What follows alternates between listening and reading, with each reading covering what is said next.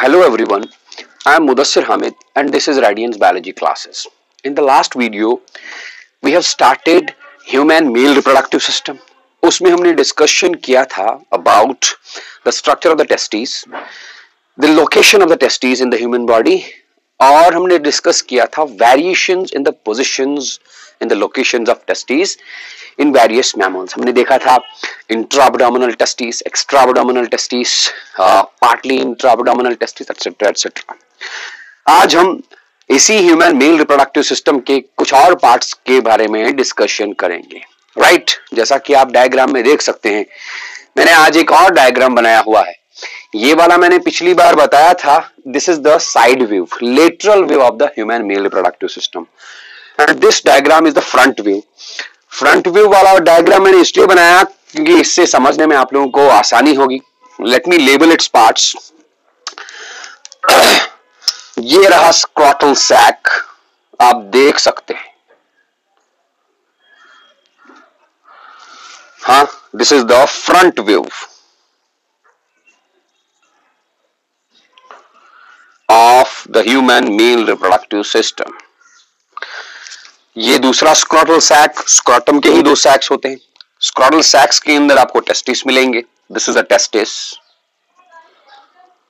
इसके बारे में हम डिस्कशन कर चुके हैं। टेस्टिस के पोस्टीरियर पार्ट से अराइज होगा epididymis right this one is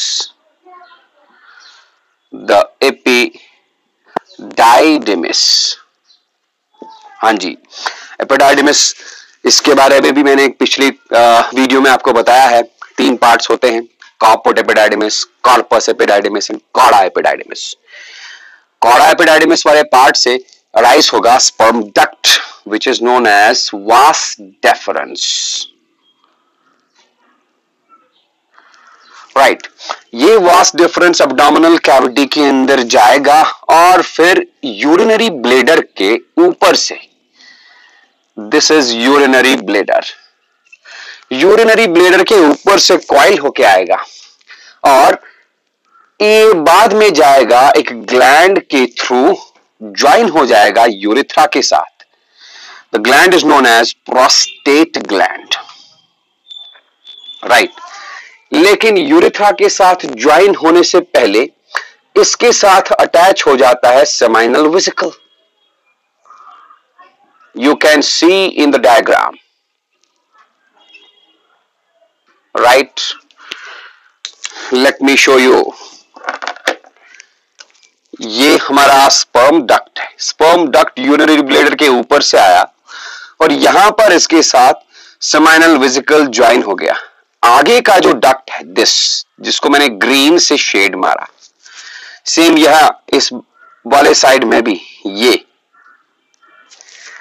This duct, now, after the joining of the seminal vesicle, इसी डक्ट को हम अब बोल सकते हैं ejaculatory duct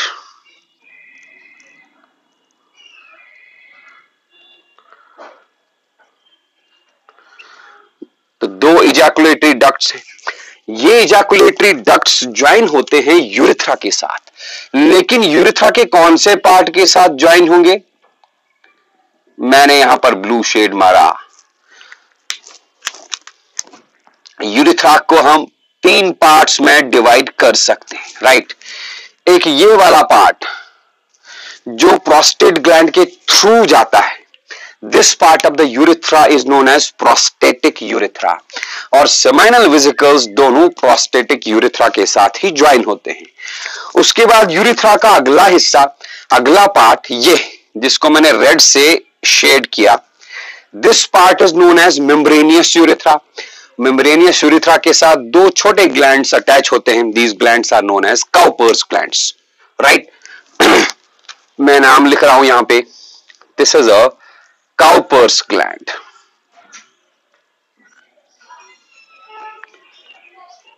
is it okay उसके बाद यूरिथ्रा थोड़ा सा हल्का सा डायलेट होता है।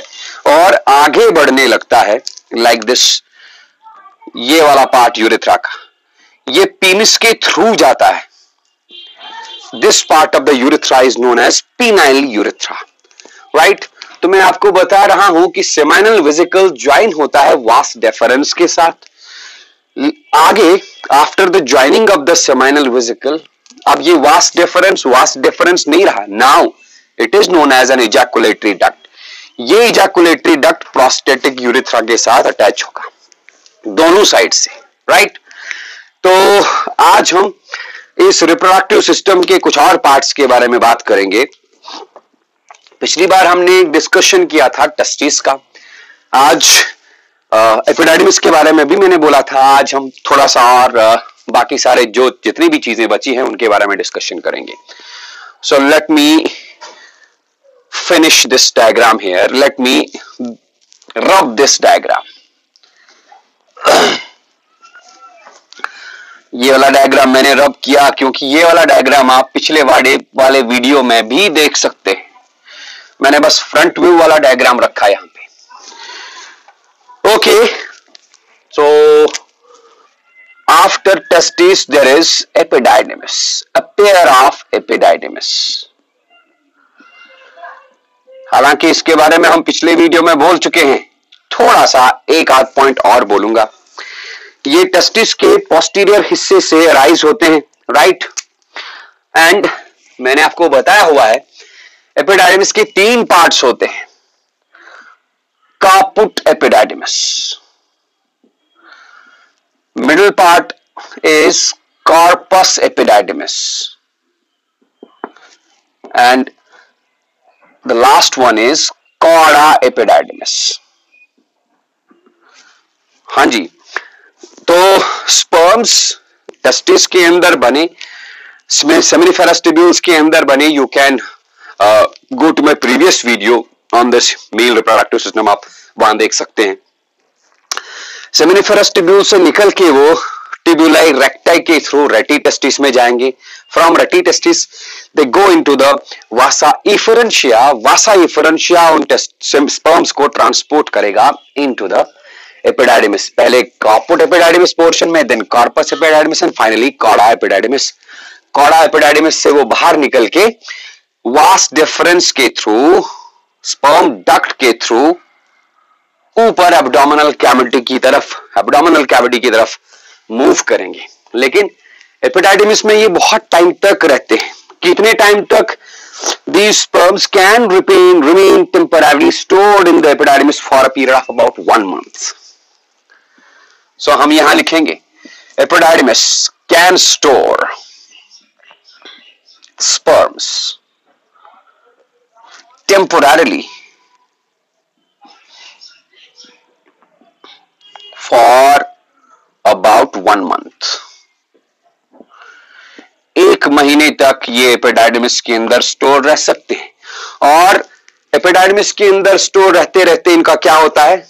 हमने पिछले वीडियो में बोला हुआ है functional maturation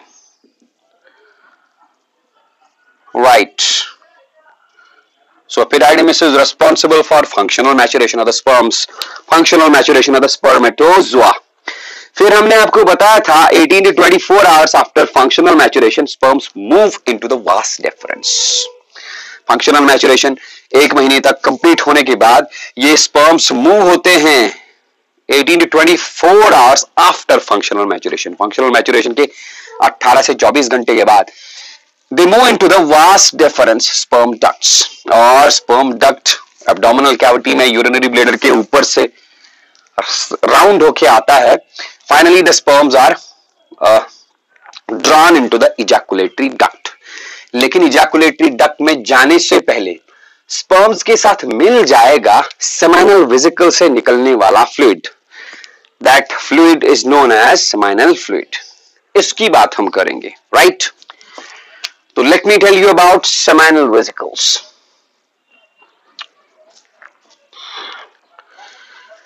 there is of seminal vesicles आप डायग्राम में देख सकते हो।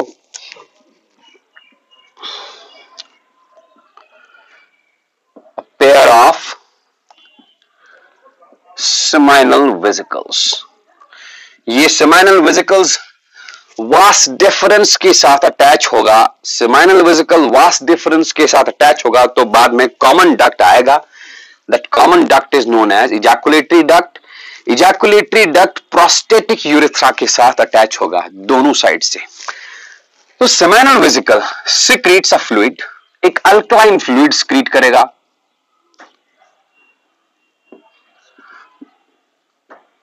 That alkaline fluid is having a pH of about 7.3 slightly alkaline fluid. Right. इस अल्कलाइन फ्लूइड को हम सेमाइनल फ्लूइड बोलेंगे। Seminal fluid okay. This alkaline seminal fluid consists of, it consists of fructose. Fructose के साथ साथ इसमें कुछ और चीज़ें भी होती हैं। क्या क्या fibrinogen prostaglandin citrate inositol fibrinogen prostaglandin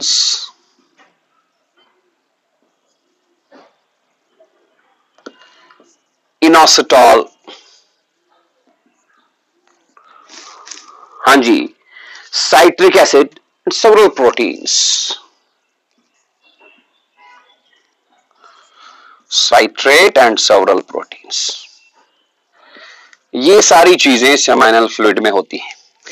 इसमें सबसे इंपॉर्टेंट चीज़, हालाँकि सारी चीज़ें इंपॉर्टेंट है but the most important thing present in the fluid is this fructose क्या है ये फ्रक्टोस आपको पता होगा fructose is a monosaccharide sugar है ये। हाँ six carbon sugar this fructose provides energy it is the energy source for sperms right sperms को मूव करना होता है both in the male reproductive system as well as जब ये female reproductive system में जाते हैं वहाँ से भी ये मूव वहाँ भी इनको मूव करना पड़ता है। वजैनल कैविटी से सर्विक्स uh, की तरफ़ देन सर्विक्स से यूटरस uh, की तरफ़ यूटरस से फेलोपियन ट्यूब्स की तरफ़।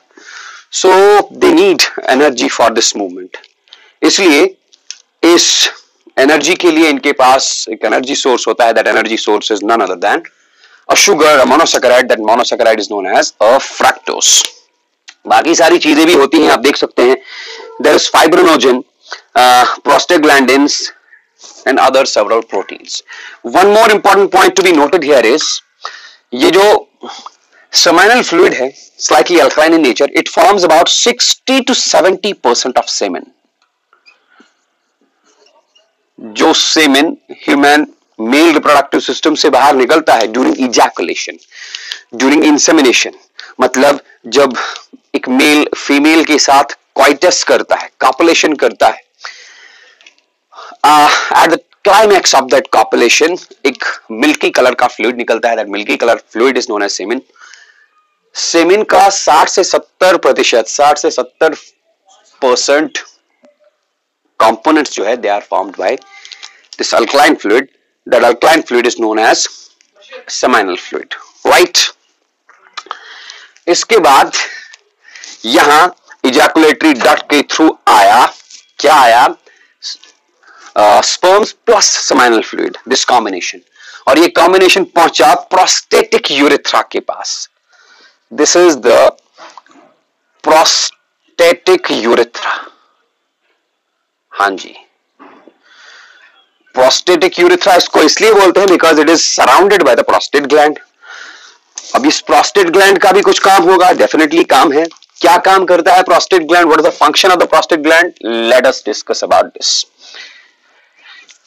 prostate gland भी एक अल्कलाइन फ्लूइड स्क्रीट करता है। That fluid is known as prostatic fluid prostate gland prostate gland दो तीन नहीं होते it's not a pair it is an unpaired gland सबसे पहला पॉइंट अब याद रखेंगे it is an unpaired gland right unpaired condition में होता है। And it secretes prostatic fluids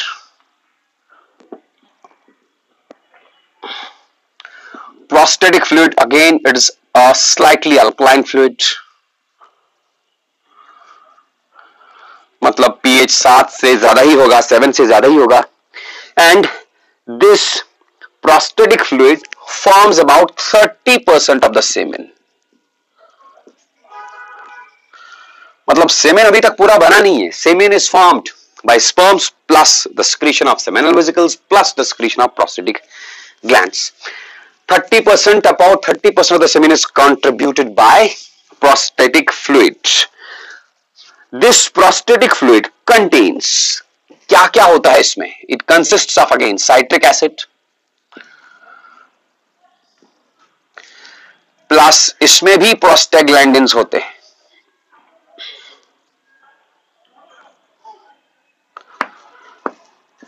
Citric acid prostaglandin it also contains calcium and phosphate clotting enzymes fibrinolysin etcetera calcium and phosphates clotting enzymes.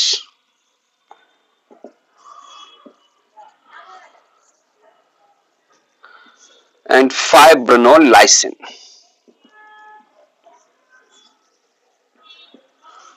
Okay prostaglandin आपने देखा seminal fluid में भी होते हैं, यहाँ भी होते हैं what is the function of these prostaglandin जब ये सेमिन इजैकुलेशन के दौरान, जब ये सेमिन कॉपुलेशन के क्लाइमैक्स पे में फीमेल रिप्रोडक्टिव सिस्टम में जाएगा तो ये प्रोस्टेग्लैंडिन फीमेल रिप्रोडक्टिव सिस्टम की लाइनिंग को मस्क्यूलर लाइनिंग को यूट्रस लाइनिंग को कॉन्ट्रैक्ट और रिलैक्स कराते हैं। They are responsible for the rhythmic contraction and relaxation of the wall of the female reproductive system उससे क्या होगा? उससे स्पर्म्स को मूव करने के लिए एक्स्ट्रा एक्स्ट्रा फोर्स मिल जाता है। एक तो स्पर्म्स के पास ऑलरेडी अपनी टेल लाइक स्ट्रक्चर होती है। प्लस उनको मूव करने के लिए एनर्जी चाहिए that energy sources the energy is given by the energy source fructose plus उनको कुछ और एडिशनल फोर्स एडिशनल ताकत की ज़रूरत होती है। That is supplied by the contractions of the wall of the uterus and the contractions of the wall of the uterus are mediated by these prostaglandins, which are found in the seminal fluid as well as the prostatic fluid. Okay. इसमें हमने लिखा coagulating enzymes होते हैं right coagulating enzymes का काम क्या है? जब ये प्रोस्टेटिक फ्लूड समाइनल फ्लूड और स्पर्म्स के साथ मिल जाएगा तो प्रोस्टेटिक फ्लूड के coagulating enzymes clotting enzymes here they bring about the clotting या coagulation of of semen semen को कॉगुलेट करते हैं मतलब थोड़ा सा सॉलिड टाइप का बनाते हैं हल्का सा जली टाइप का। वाई क्योंकि सेमिन के अंदर अभी स्पर्म्स हैं, बहुत सारे स्पर्म्स अगर ये कॉगुलेट नहीं हुआ तो स्पर्म्स हमेशा रहेंगे in a state of motion और मूवमेंट करते करते जो फ्रक्टोस एनर्जी सोर्स है energy source will be depleted बाद में जब उनको फीमेल रिप्रोडक्टिव सिस्टम में जाना होगा वहाँ पर मूवमेंट करने के लिए उनके पास एनर्जी सोर्स नहीं रहेगा। दैट इज़ वाई कुछ टाइम के लिए स्पर्म्स कुछ टाइम के लिए सेमिन कॉगलेटेड मैनर में रहता है। And coagulation of the semen is brought about by these clotting enzyme what the function of this coagulation of the semen it restrict the movement of sperms sperms को ज़्यादा move नहीं होने देता। क्यों? To conserve energy to conserve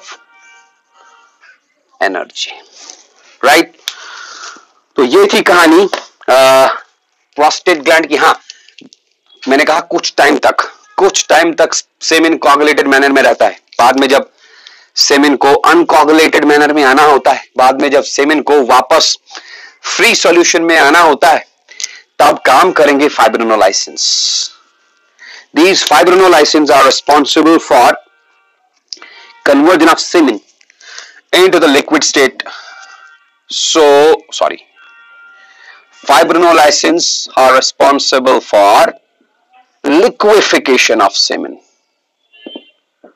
again right. तो क्या देखा हमने? स्पर्म्स आए, यहाँ से टेस्टिस से टेस्टिस के बाद सेमिनिफेरस ट्यूब्यूल्स के बाद tubuli recti tubuli recti tubuli recti join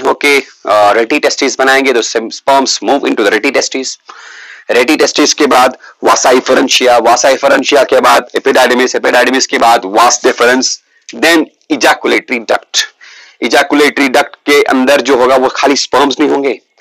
They will be the sperms plus seminal fluid और प्रोस्टेटिक यूरिथ्रा में प्रोस्टेटिक फ्लूइड भी जमा हो जाएगा। Now a combination is formed that combination is consisting of what?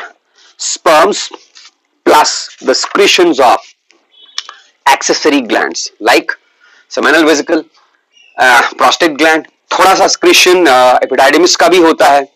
तो epididymal secretions plus seminal vesicle secretions plus prostatic secretions plus sperms all this constitutes the white milky color fluid. That white milky color fluid is known as semen. वही semen अब prostatic से निकल के membranous urethra में पहुँच जाएगा right right? और membranous urethra के थ्रू पीनाइल यूरिथ्रा के थ्रू बाहर निकलेगा at the time of ejaculation at the time of insemination right हाँ जी। आप डायग्राम में देख सकते हैं यहाँ पर हमने दो और छोटे ग्लैंड्स लिखे हैं। These are Cowper's glands what is their function Cowper's glands Cowper's glands attach रहते हैं यूरिथ्रा के साथ ही। लेकिन यूरिथ्रा के कौन से पार्ट के साथ? प्रोस्टेटिक यूरिथ्रा के बाद जो हिस्सा है, ये वाला हिस्सा। It is known as membranous urethra this part this is membranous urethra. Right. And Cowper's glands remain attached to this membranous urethra. Right here, Cowper's glands. इनका एक और नाम भी है they are also known as bulbo urethral glands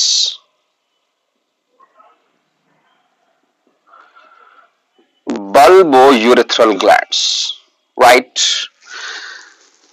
They secrete a transparent, slightly alkaline fluid. Transparent, slightly alkaline fluid. Slightly alkaline. Approximately उसका pH 7.2 होता है इस फ्लूड का काम क्या है? आप देखिए डायग्राम में यूरिथ्रा है prostatic urethra membranous urethra and penile urethra ये यूरिथ्रा ओरिजिनेट कहाँ से होता है? शाबाश this urethra originates from urinary bladder right तो इस यूरिनरी ब्लेडर से जो यूरिन निकला, वो इसी यूरिथ्रा के थ्रू पास होगा। ठीक, ज़ाहिर सी बात है यूरिथ्रा का जो इंटरनल लाइनिंग है इंटरनल वॉल है उसके ऊपर कुछ यूरिन की ड्रॉप्स लगे होंगे। And you might know that urine is little bit acidic in nature okay अब अगर इसी एसिडिक रास्ते से सेमिन जाएगा सेमिन के अंदर जो स्पर्म्स होंगे दो स्पर्म्स विल बी किल्ड इसीलिए before sexual intercourse Cowper's glands when a person when a couple is ready to have copulation Cowper's gland secrete this transparent fluid. वही ट्रांसपेरेंट फ्लूइड इस urethra के through जाएगा। Urethra के through जाने से इस urethra की एसिडिटी को नलिफाई करेगा, खत्म करेगा। मतलब कहने का यह है कि this secretion of the Cowper's gland makes a safe passage for the incoming sperms from the semen right तो वही हम लिखेंगे यहाँ पर the function of this secretion is to remove the acidity of urethra. So, safe passage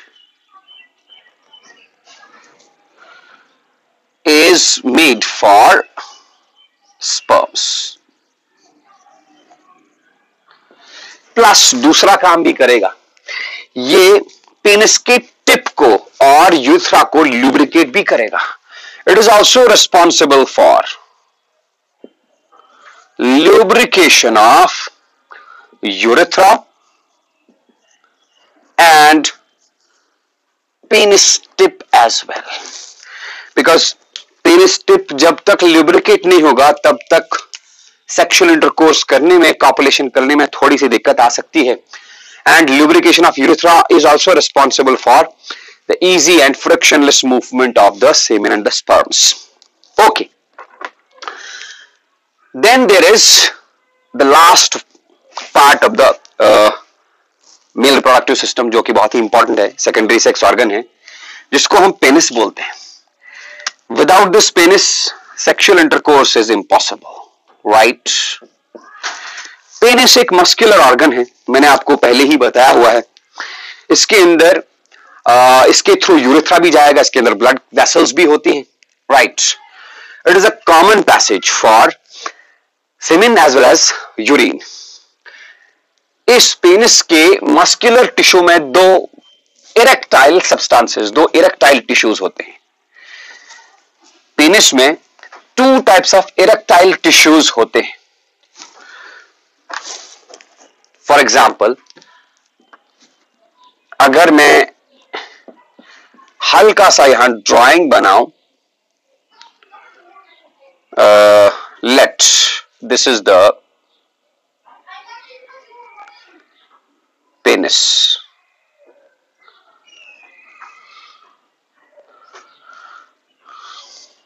One minute.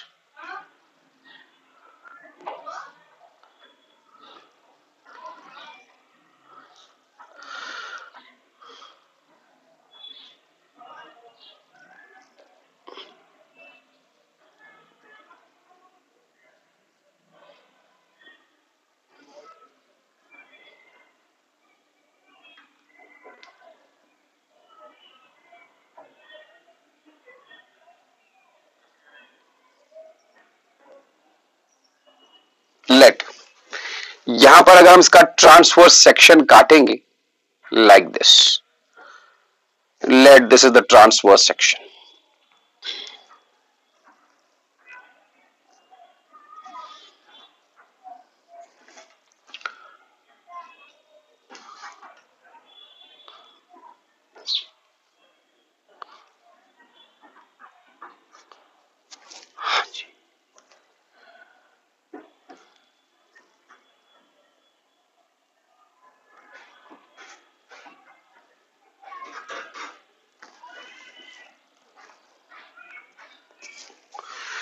This transverse section contains, the penis contains, सबसे पहले ये रहा urethra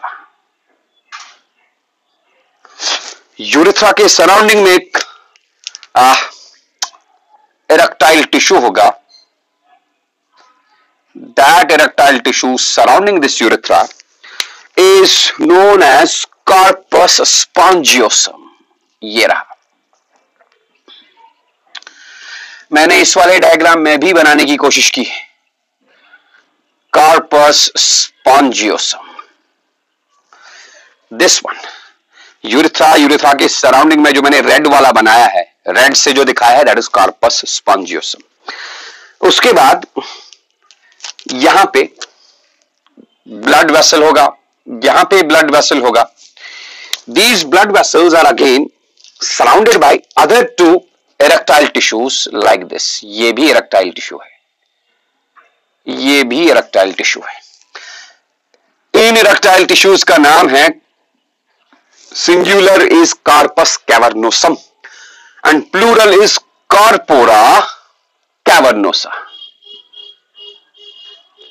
right this is the blood vessel blood capillary अब देखिए। मैंने कहा sexual intercourse करने के लिए ज़रूरी है पेनिस सेक्सुअल इंटरकोर्स करने के लिए पेनिस क्यों ज़रूरी है? बिकॉज़ इसी के थ्रू सेमिन निकलेगा that semen will be transported in the female reproductive tract right but तब तक ये transfer of semen into the female reproductive tract impossible है जब तक ये पेनिस इरेक्ट ना हो. And its erection is brought about by external stimulus जब ये मेल uh, को कुछ एक्सटर्नल स्टिमुलस मिलेगा external stimulus includes some thoughts that will exaggerate that will that will inculcate कुछ सोच कुछ थॉट्स आएँगे those thoughts will inculcate the desire to have sex with his partner right या कोई चीज़ देख ली जिस चीज़ से इसके अंदर uh, सेक्सुअल इंटरकोर्स करने की uh, इच्छा जागेगी। Those are the kinds of external stimuli जैसे ही एक्सटर्नल स्टिमुलाई आएँगे इन एक्सटर्नल स्टिमुलाई से इन ब्लड वेसल्स के थ्रू ब्लड रश आएगा।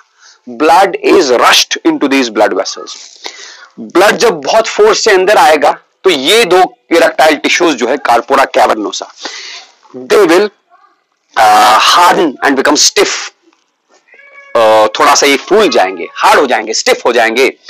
इनके स्टिफनेस से स्टिमुलस मिलेगा कॉर्पोस कॉर्पोस स्पॉन्जियोसम को। ये भी फैल जाएगा स्टिफ हो जाएगा and it will bring about the erection of the penis then the guy will be ready to introduce this penis into the female reproductive tract to transport the semen into the female reproductive tract. Okay, तो ये थी कहानी इस mail reproductive system की। अब सवाल है मैंने आपको कहा पिछले वीडियो में कि स्पर्म्स के अंदर सॉरी टेस्टिस के अंदर स्पर्म्स बनेंगे। कहाँ पर बनेंगे? टेस्टिस के अंदर सेमिनिफेरस ट्यूब्यूल्स हैं। हर एक टेस्टिकुलर लॉब्यूल के अंदर दो से तीन सेमिनिफेरस ट्यूब्यूल्स हैं। उन्हीं के अंदर स्पर्म्स बनते हैं। राइट आ, वो स्पर्म्स कैसे अच्छा एक बात और आ, मैं भूल गया। अभी मैं सेमिन के बारे में बता रहा था। आप अगर लिखना चाहें तो लिख सकते हैं semen semen is a combination of sperms plus the secretion of accessory gland हमारा seminal vesicle prostate gland Cowper's gland and epididymis आएगा। इन सबका secretion plus sperms is known as the semen right one more thing the normal sperm count of a human being is of a male is 20 to 120 million 20 to 120 million right per ml of semen मतलब एक M L semen के अंदर 20 से 120 million sperms होने चाहिए अगर एक M L semen के अंदर 20 मिलियन स्पर्म से कम हुए then we can say that the guy is suffering from oligospermia right oligospermia means less than 20 million sperms. In 1 ml of semen. Okay.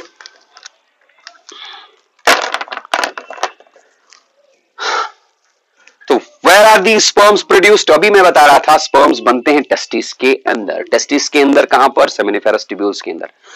तो let us discuss a little bit about the structure of these seminiferous tubules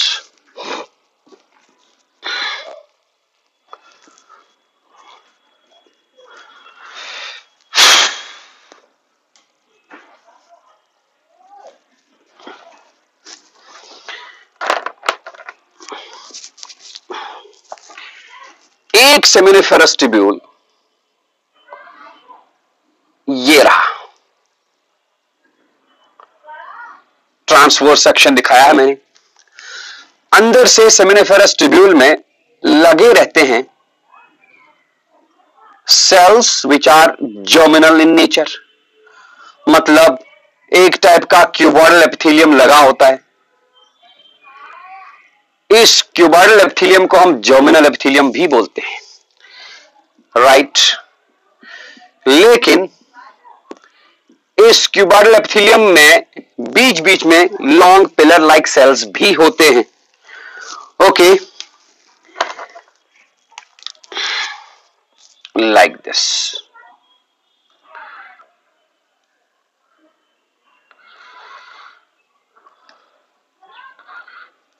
long pillar like cell.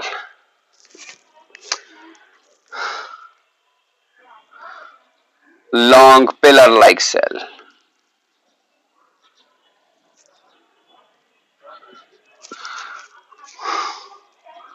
Long pillar like cell.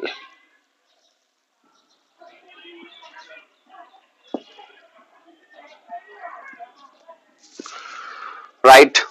These long pillar like cells are known as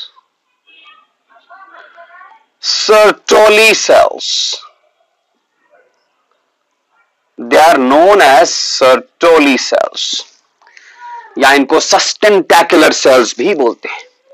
मान लीजिए ये रहा दूसरा seminiferous tubule इसमें भी बिल्कुल ऐसा ही scene है। ये रहा सर्टोली सेल ये रहा Sertoli cell again, it is a Sertoli cell it is a Sertoli cell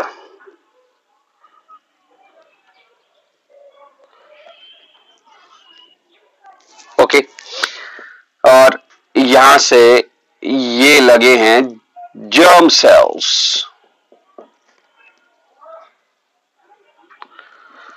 यही जर्म सेल्स जो हैं they are responsible for the formation of spermatozoa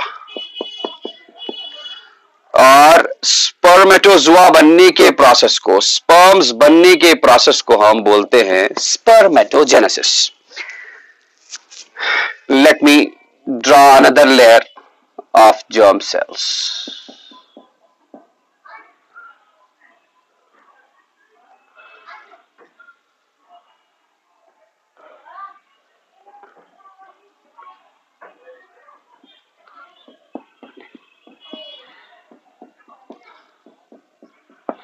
okay. Here another layer of germ cells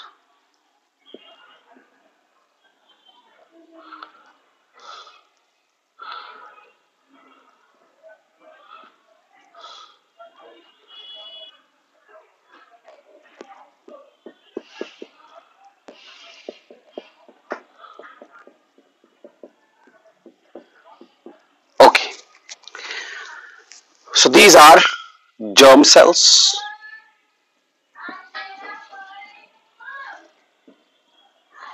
यही germ cells divide होते होते और cells बनाते हैं दो cells are known as sperm mother cells like this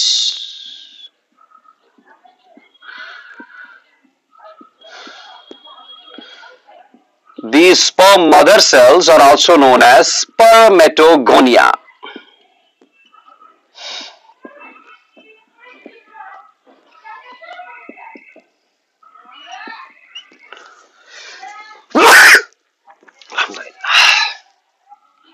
ये रहा sperm mother cell also known as spermatogonia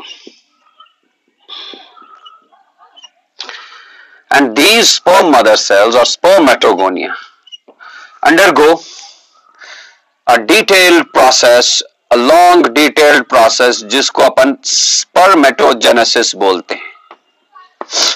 और स्पर्मेटोजेनेसिस प्रोसेस में ही स्पर्म्स बनते हैं। right so these are sperm mother cells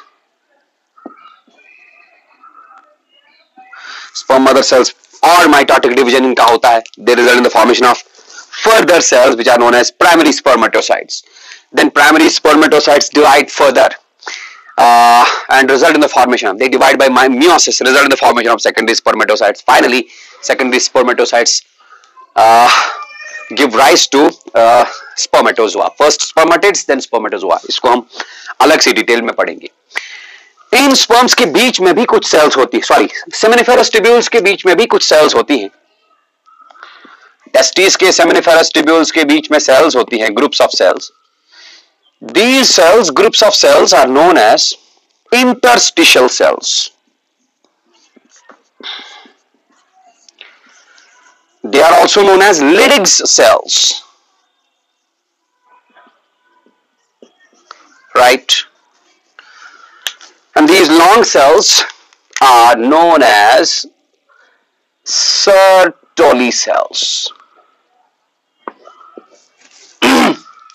The germ cells, germ cells are responsible for the production of, for the formation of sperms. Right while as Sertoli cells इनका काम क्या है? They are responsible for nursing of the developing sperms जो स्पर्मेटोज develop हो रहे हैं, बन रहे हैं, उनको नरिशमेंट की ज़रूरत होती है। दो nourishment that nursing is provided by the sustained Sertoli cells that's why they are also known as nurse cells